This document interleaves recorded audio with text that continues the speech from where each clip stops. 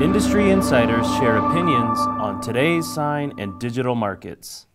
We asked Daniel Halkyard with Visual Magnetics, what trends are you noticing in the world of point of purchase advertising and how can sign and graphics shops take advantage of these trends?